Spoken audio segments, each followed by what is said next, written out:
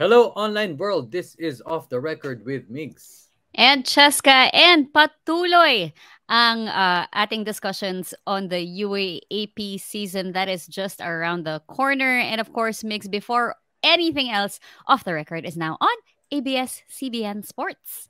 And follow at ABS-CBN Sports on Facebook, YouTube, Instagram, and Twitter. Sabi nga po ni Cheska, patuloy ang ating uh, preview of the UAP Season 85. Uh, ah, kung matatandaan nyo po, Season 84, ginawa din namin ito sa aming podcast. And right now, Season 85 na, uh, you know, just few months lang po ang pagitan. Mm-hmm. Marami ang nangyari from 84 to 85. Nag-revamp ang mga team. And ngayon po, introduce na po natin ang ating next team because this is a team that the UAAP world should watch out for. They recently won the Phil Oil Eco Oil preseason tournament this year, going undefeated and introducing po uh, ating guests for tonight. Walang iba kundi ang NU Bulldogs, Coach Jeff Napa and RJ Minerva. Hi Coach.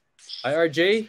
Hello. Thank you for joining us. Oh, good Thank you. Good evening. Good evening. Good, good evening, evening sa inyong dalawa. Good evening Coach. RJ, pwede ka mag-on cam para makita namin ang iyong uh, tikas at kagwapuan. Yan. Ang team captain ng NU. Coach Jeff, ano po? Coach Jeff, ano po ang ginawa ninyong, well, nasabi ko na nga kanina, no, na kayo nag-champion sa, sa Phil Oil Preseason Cup at marami pa kayong mga napanalong games sa preseason. Ano po, Coach, yung masasabi ninyong main difference from 84 papuntang season 85 for the NU Bulldogs? Uh, difference siguro, yun nga, number one, nakuha na kami ng player. tapos, uh, tapos yun, naghanap kami ng papalit dun sa mga nakuha sa amin. Then, luckily naman, yung mga naiwan nag-step up. So, ako, I'm very happy together with the coaches na yung mga naiwan nag-step up talaga. So, kung ano yung mga hiningi namin bagay sa kanila, talagang binigay nila yung best nila para dun sa nga dun sa gusto naming mangyari talaga as a group. Uh, Coach, speaking of stepping up, si RJ, RJ still has I think three playing years left. Tama? Yes. Uh, including this one yata. Including, including this, this one. one. Yes. Uh, okay, ayun. But uh, you uh, you made RJ your captain. Yes. Ano po Actually, yung ano naman eh, Uh, sa akin naman kasi, wala naman yung veterano-veterano sa amin talaga eh. It's all matter of kung paano mo i-handle talaga kung yung pressure. Then I see naman si Robert talaga is one of become a leader talaga sa team. Ayoko ko rin i-shoulder kasi kung sino man yung ibigay, alba, like JLC, ayoko nang i-burden talaga sa kanya yung responsibility to become a captain ball. So, rather choose na lang any, ano, anyone na talagang alam kong kayang i-handle yung ganong situation and yung pressure ng pagiging captain ball na talagang alam ko naman si Robert kaya niyang i-handle yun talaga. Tsaka very vocal din naman talaga siya. Hmm. Okay. Robert or RJ, uh, ah, tatanungin natin ang reaction mo, of course, being team captain. Pero syempre, hindi ka naman stranger sa NU basketball. Laro ka ng isang year for the Bull Pops. Nakadalawa ka Uh, you have three more playing years including this one para sa NU Bulldogs. Ano yung tingin mong uh, pinakamalaki mo mga paghahanda? And at the same time, nung sinabi ni Coach Jeff na team captain ka, uh, ano yung Uh-oh. una mong naging reaction at syempre, paano mo ito pinag-prepare itong big role na to?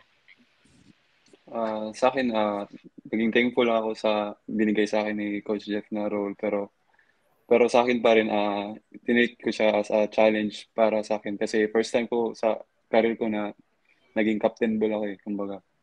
Challenge ko, mm. sa, challenge para sa akin yun and then, yun lang, kung ano ako sa loob ng court, sa labas ng court, ganun lang yung papakita ko sa team. And tutulungan ko lagi sila.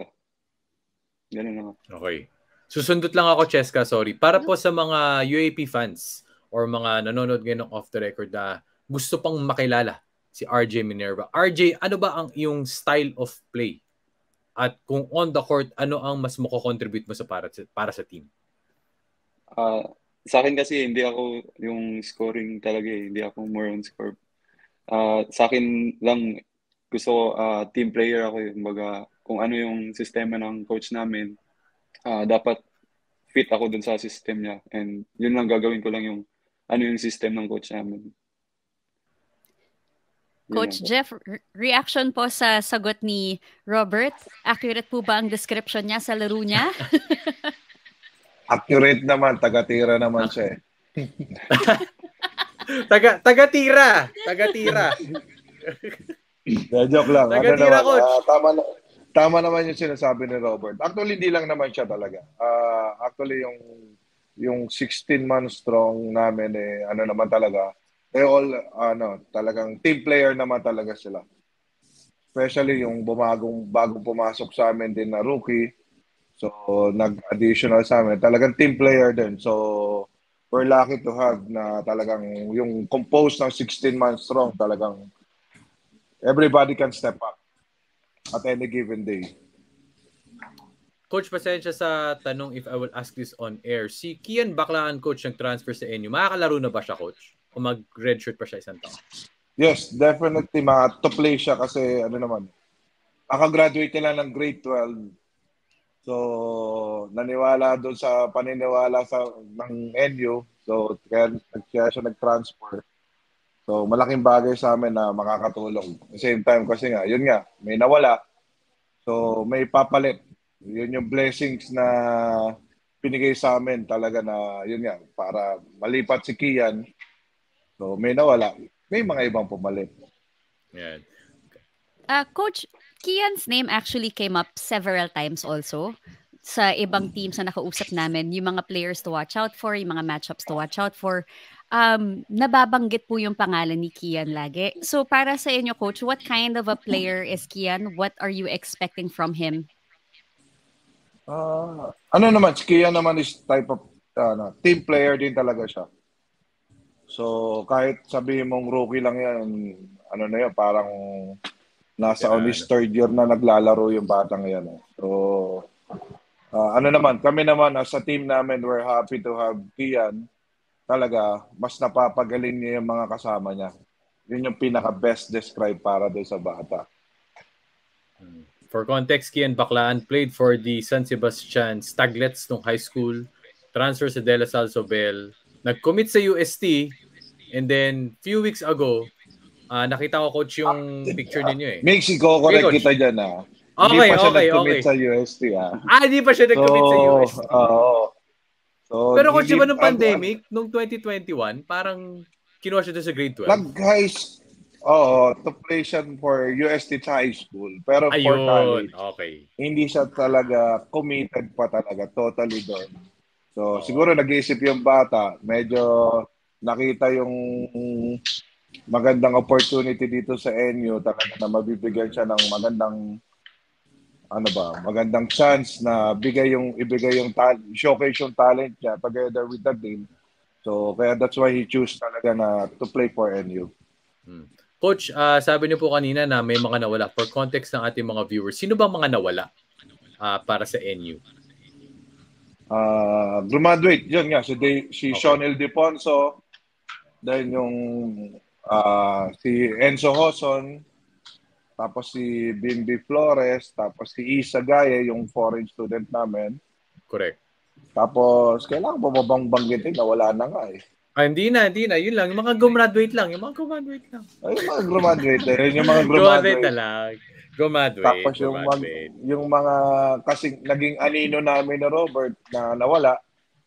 So, nakapag-move na ka rin kami kasi kaya ano naman, kami, we're excited na kung sino yung gustong samahan kami sa journey na to, welcome na welcome. Kung ayaw, ayaw kami samahan sa journey na to, welcome na welcome din sila lumayo sa team namin. Pero coach, ang, ang, ang summary ko dyan, coach, na pag-usapan natin. When a door closes, a window opens. When a door closes, a window opens. So, kung ano man, 16 months strong, aabangan ng NU kasi nga uh, they showcased uh, NU Bulldogs, nag-showcase sila nung preseason tournaments. Ngayon naman, coach, uh, pupunta tayo sa fast questions, fast answers. Wala namang ano dito, very fun, very light. Kasi ang tawag namin dito, Coach Jeff tsaka RJ, fast break round. Fast break round. Okay. Sige, Cheska, you wanna take the first? Okay. Coach, Let's start with you. Pinaka inaabangan this season. Ano ba? As a team o as a player? As a as a team, any anything to do with the upcoming season na alam as in talagang inaabangan niyo talaga. Siguro sa amin ano, as a group, yung team. Abangan nila kasi we will not ano, eh, kumbaga papahirapan namin yung mga kalaban namin ngayon. Mm. Okay. Ano sagot mo dyan? Anong sagot mo dito, RJ? Ah, sa akin siguro lahat, lahat na siguro ng team na pag- paghahandaan namin. Hindi lang yung UP or Ateneo, basta lahat. Pero, ah, ano lang, game by game lang po yung focus namin. RJ, speaking with you, biggest lesson from last season? Ah, biggest lesson siguro, ah, yung natalo kami dun sa Lasal. Kasi may chance po kaming pumasok ng Final Four nun. Kaya siguro ngayong this season din na namin maulit yun. Coach Jeff, biggest Yes. lesson from last season. Biggest lesson from last season, siyempre yung ano, yung maturity ng mga boy, mga bata. Ang hirap i-fast track na no. So they have to gain their experience through the the game. Then yung heartbreaks losses namin, yun nga. Sinabi nila, ni Robert na one win away kami sa Final Four. Actually, hindi lang yung Lasal eh. Kumbaga, against F, against Adamson and FPU nung second round. Kung manalo lang kami nung time na yun, automatic pasok na kami nun. Hindi na kami mamumblema pa. So, yun yung lesson learned na kailangan as much as you win more games para hindi ka na mag mahirapan magbilang na ano or manalangin na sana matalo tong kalaban na to. Hmm. Dapat control mo eh, di ba? Coach, yung destiny. Oo. Oo. Tama, tama. O coach, i ano natin, nahapyawan natin to kanina coach, pero in detail na lang kung there are names na key additions para sa NU this season.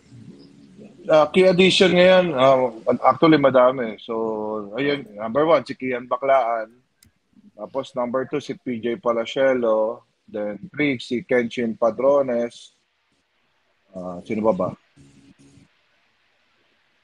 So yun, yung foreign student namin, si foreign player, si bago si Omar Jan, yung kapalit ni Isa. Sino pa ba, Robert? Nakalimutan ko na eh.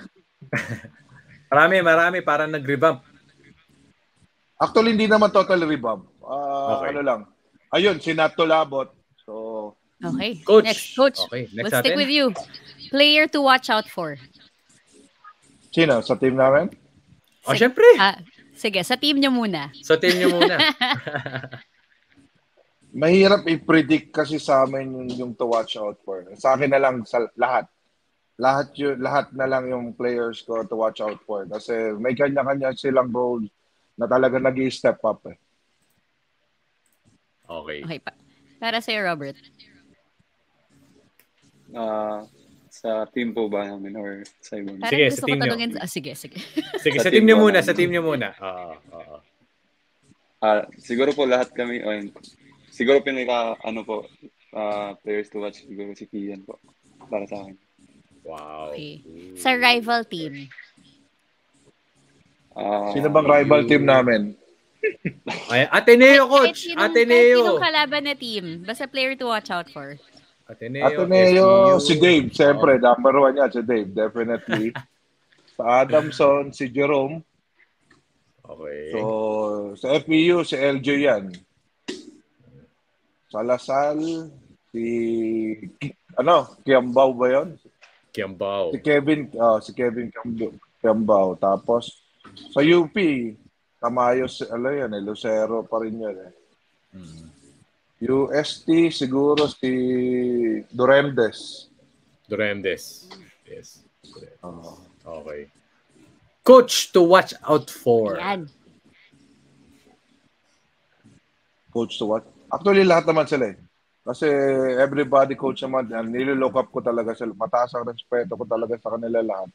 At marami rin ako natututunan sa kanila pagkalabang ko sila. So, Mhm. ano na lang, magche-chess, ano, magche-chess na lang kami sa loob ng court. Pagalingan na lang muna. So, Mhm. yun. Uh, looking forward sa lahat ng coaches na makalaban ko sila ngayon this coming year. Okay. okay. RJ, bukod sa iyo, bukod sa iyo, Robert, uh, player that you're expecting to lead the team na kasama mo, na magiging kasama mo maging leader? Uh, para sa akin po si ano si Pat Patrick Yu, John Lloyd Clemente, uh, John Galinato, Jonas Tibayan po. Yun po yung maglilid ng team.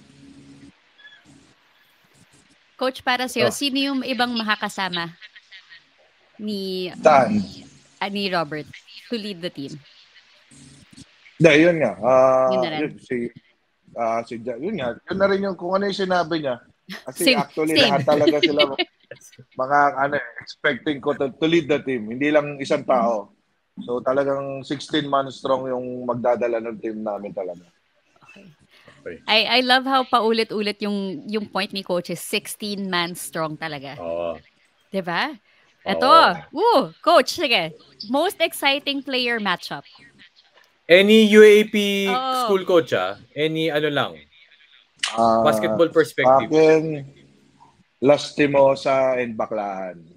Ah. Mm, okay. Sabi so, na rin yun. Sinabi, oh, tama, tama. Oo, tama. Okay. Para sa'yo, uh, Robert. Akin po si ano, Mike Malonzo at si Xavier Lucero. Ah. Wings naman, wings. Uh-huh. Guards versus wings. Okay. Coach Jeff. Okay. Fearless, Final, Final Four. yes. Actually, marami, ano yan. Actually, lahat naman eh.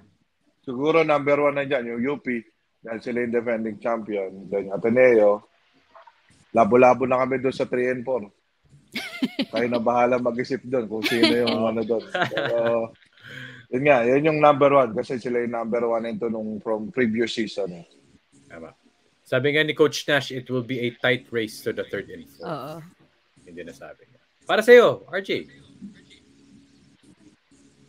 Uh, yun nga po. Uh, UP Ateneo tsaka kaya na po bahala sa TL for magana. Laban-laban na lang po sa season. Wala, wala, wala NU? NU doon sa number 3? Oh, NU na po number 3. Confidence coach, 'di ba, coach? 16 months strong. Kailangan muna magpakalaylo. Mahirap pagsalita ng tapos. Mamaya mabilaw ka, di ba? Ayan, tama naman.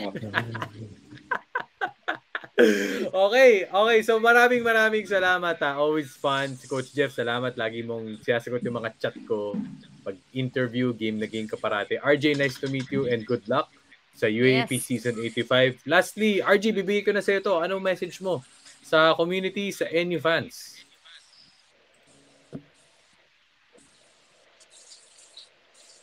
Sige, teka. Na, ano yata si RJ? Coach Jeff, ko na lang, Coach Jeff. Wala pa, Sergio. Uh, message ko sa community, uh, let's keep supporting our NU Bulldogs. See you at the venue.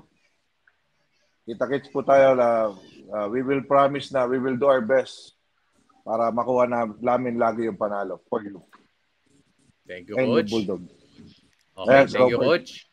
Uh, Robert, sige, message mo sa NU fans, sa mga classmates.